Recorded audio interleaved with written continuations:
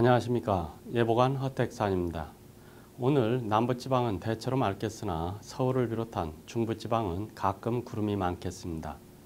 내일은 차차 흐려져 오후에 제주도 지방을 시작으로 늦은 오후부터 밤 사이에는 전라남북도, 경상남도 남해안, 충청남도와 경기 서해안에 비가 오겠고 늦은 밤에는 서울, 경기도, 충청북도와 경상남북도 일부 내륙 지방으로 비가 확대되겠습니다.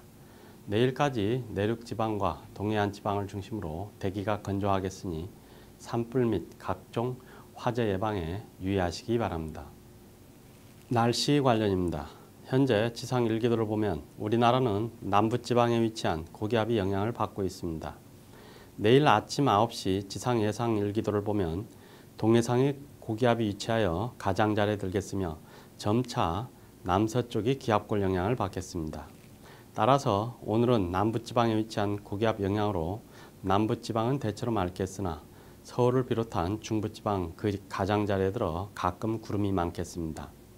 내일은 고기압이 영향에서 벗어나 남서쪽에서 다가오는 기압골 영향을 점차 받겠으므로 전국이 차차 흐려져 오후에 제주도 지방을 시작으로 늦은 오후부터 밤 사이에는 전라남북도, 경남 남해안, 충청남도와 경기 서해안에 비가 오겠고 늦은 밤에는 서울, 경기도, 충청북도와 경상남북도 일부 내륙 지역에 비가 오겠습니다. 이번 비는 모레 전국으로 확대되어 글피 낮까지 이어지다가 점차 개겠습니다.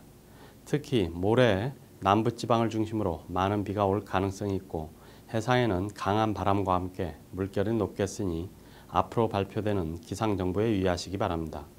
또한 내일까지 동해안 지방을 중심으로 대기가 건조하겠으니 산불과 각종 화재 예방에 유의하시기 바랍니다.